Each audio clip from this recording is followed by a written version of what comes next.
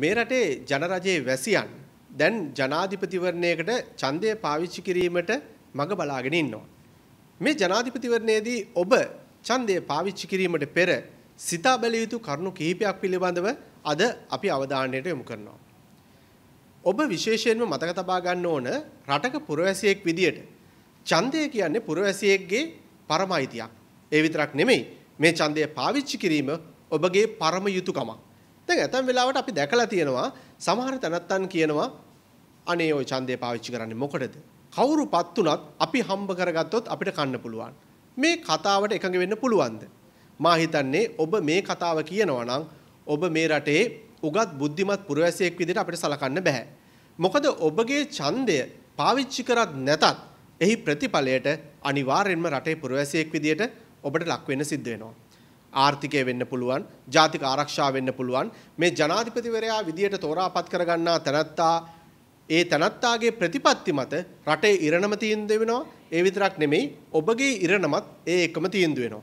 ඒ විතරක් නෙමෙයි. තවත් එහාට ගියොත් ඔබගේ දුවගේ පුතාගේ ඉරණමත් ඔබගේ ඡන්දය මත තීරණය වෙනවා. ඉතින් ඒක නිසා කවදාකවත් ඡන්දේ දවසේදී ඡන්දේ පාවිච්චි නොකර ගෙදරට වෙලා ඉන්නවා කියන හැඟීමෙන් නම් ඉන්න එපා. දැන් දියුණු රටවල මේ ආකාරයෙන් ඡන්දය පාවිච්චි කරේ නැත්තම් විශේෂයෙන්ම ඕස්ට්‍රේලියාව වගේ රටවල විශාල දඩ මුදල් ප්‍රමාණයක් නියම කරනවා. මම හිතන්නේ මේ අපේ රටටත් හඳුන්වා දිය යුතුයි. මොකද ලියාපදිංචි ඡන්දදායකයන්ගෙන් විශාල පිරිසක් තමන්ගේ ඡන්දය පාවිච්චි කරන්නේ ඔබ ඡන්දය පාවිච්චි නොකරනවා කියන්නේ ඔබ නරකම අපේක්ෂකයාට තේරීපත් වෙන්න අවස්ථාවක් සලසා දෙනවා.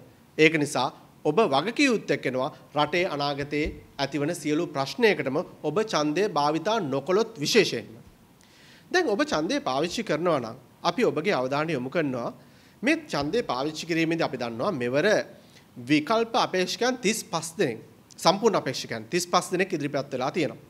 දැන් මේ අපේක්ෂකයන් විකල්ප අපේක්ෂකයන් ප්‍රධාන පක්ෂ ඇරුණම ඉතා විශාල සංඛ්‍යාවක් 32කට අධික සංඛ්‍යාවක් ප්‍රධාන පක්ෂ වලින් නොවන ඒ කියන්නේ ඡන්ද විශාල ඡන්ද පදනමක් නොමැති පක්ෂ වලින් හෝ එහෙම නැත්නම් පාර්ලිමේන්තු මන්ත්‍රීවරුන් ඉදිරිපත් වෙලා තියෙනවා මේ ජනාධිපතිවරණය සම්බන්ධයෙන්.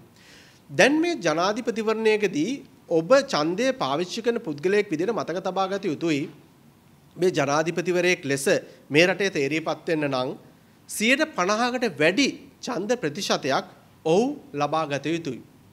දැන් මේ 50කට වැඩි ඡන්ද ප්‍රතිශතය අපි දන්නවා මේක හංගන්න දෙයක් නැහැ.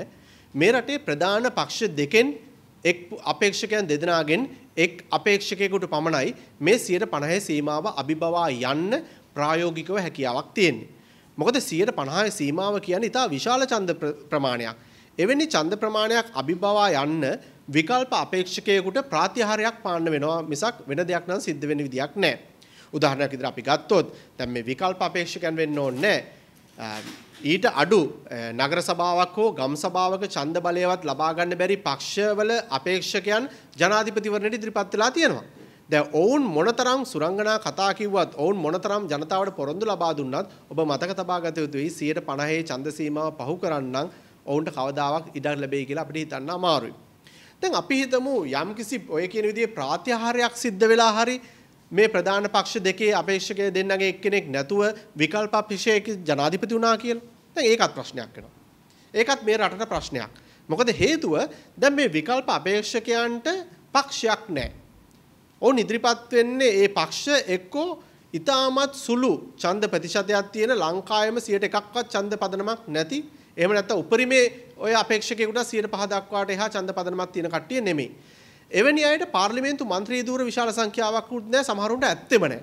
දැන් මෙවැනි පුද්ගලෙක් ජනාධිපතිවරයා වුණොත් ඔබ දන්නවා විධායකයේ සහ ව්‍යවස්ථාදායකයේ සහයෝගයෙන් කටයුතු නොකිරීමේ ප්‍රතිඵල විදියට අපේ රට අතීතයේදී බොහෝම ඛේදනීය ඉරණම් විදියට මුහුණ දුන්නා. උදාහරණයක් විදිහට 2015 දී මෛත්‍රීපාල සිරිසේන ජනාධිපතිතුමා ජනාධිපතිවරයා වෙස පොදු අපේක්ෂකයා ලෙස ඉදිරිපත් වෙලා ජයග්‍රහණය කරායින් පස්සේ එතුමාට හැකියාවක් තිබුණා ශ්‍රී ලංකා නිදහස් පක්ෂයේ බලය ලබාගෙන ඔහුටම කියලා മന്ത്രിවරු ටිකක් ඉඳගෙන ඒ වගේම එක්සත් ජාතික පක්ෂයේ සහයෝගය ලබාගෙන මේ තමන්ගේ ජනාධිපති ධූරයේ වැඩ කටයුතු කරගෙන යන්න. අපි අපි දැක්ක 2018 දී මේ ව්‍යවස්ථාදායකය සහ විධායකය අතර ගැටීමක් ඇති වෙලා එදැන් පස්සේ මේ රටේ ජාතික ආරක්ෂාව ආර්ථිකය වගේ දේවල් බරපතල අර්බුදකාරී තත්යකට මුහුණ දුන්නා. විධායක සහ ව්‍යවස්ථාදායකයට ඒකමතිකව ක්‍රියා කරන්න හැකියාවක් ලැබුණේ නැහැ. මොකද ජනාධිපතිවරයාට පාර්ලිමේන්තුව බලය නැහැ. පාර්ලිමේන්තුවේ බලය තියෙන පුද්ගලයා නෙමෙයි ජනාධිපතිවරයා බවට පත් වෙලා ඉන්නේ. ඉතින් ඒක නිසා ඔබ මේ ජනාධිපතිවරණයේදී ඡන්දය පාවිච්චි කිරීමේදී මතක තියාගන්න ඔබගේ ඡන්දයට වටිනාකමක් දෙන්න.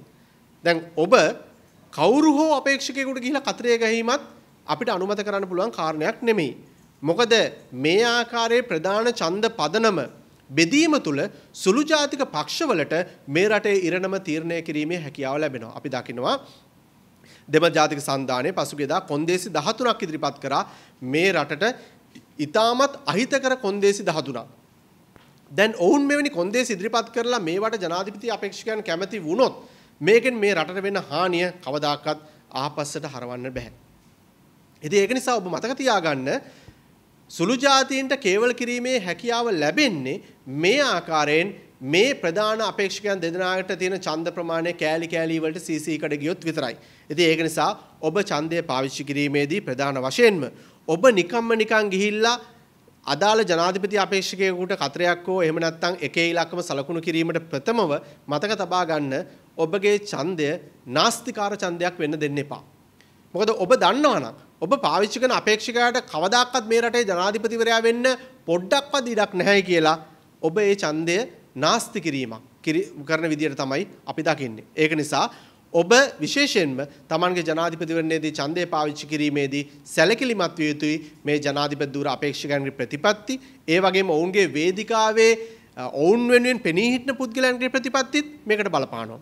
අපි දකිනවා 2015 දී ජනාධිපති ලෙස මෛත්‍රීපාල සිරිසේන මහත්තයා පත් වුණාන් පස්සේ ඔහු පිටිපස්ස සිටි ජාත්‍යන්තර බලවේග එහෙම නැත්නම් රාජ්‍ය නොවන සංවිධාන Tamanට ඕන විදිහට මේ රට හසුරවන්න ගත්තා.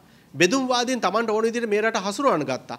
දැන් එවැනි තත්වයකට යාමට අපි නැවතත් ඉඩක් ලබා දෙනවාද කියන කාරණය මේ ජනාධිපතිවරණයේදී අපි සලකා බැලිය යුතු වෙනවා. ඒක නිසා මේ රටේ උගත් බුද්ධිමත් පුරවැසියන් ලෙස අපි ඔබගෙන් ඉල්ලා සිටින ප්‍රධානම කාරණය මතක ඇතුවම ඔබගේ ඡන්දය පාවිච්චි කරන්න මතක ඇතුවම ජයග්‍රහණය කළ හැකි අපේක්ෂකයන් දෙදෙනාගෙන් වැඩි 50 ඉක්මවා යාමේ ඡන්ද ප්‍රතිශතයක් ලබාගත හැකි අපේක්ෂකයන් දෙදෙනාගෙන් එක් අයෙකුට ඡන්දය පාවිච්චි කරන්න කියන පණිවිඩය අපි දෙනවා මොකද නැත්නම් මේ විකල්ප අපේක්ෂකයන් ඉදිරිපත් වීම තුළ සහ ඔවුන්ට ඡන්දය පාවිච්චි කිරීම තුළ බෙදුම්වාදීන්ට එහෙම නැත්නම් Tamanගේ අරමුණු ඉටු කරගන්න පහත් උත්සාහයන් කරන පුද්ගලයන් ඉඩක් ලැබීම විතරයි වෙන්නේ. අපි දක්වනවා මැතිවරණ කොමිසම පවා මෙලෙස විකල්ප අපේක්ෂකයන් විශාල ප්‍රමාණයක් ඉදිරිපත් වීම තුළ ඡන්ද පත්‍රිකා මුද්‍රණය කිරීමේදී පවා බරපතල ගැටලුකාරී තත්ත්වයන්ට මුහුණ දීලා තියෙනවා. ඒක නිසා මතක තියාගන්න ඔබ විකල්ප අපේක්ෂකයෙකු ජනාධිපතිවරයා කරනවා කියන්නේ මේ රට නැවතත් ව්‍යවස්ථාදායක සහ විධායක අතර බරපතල අර්බුදයකට ගෙන යනවා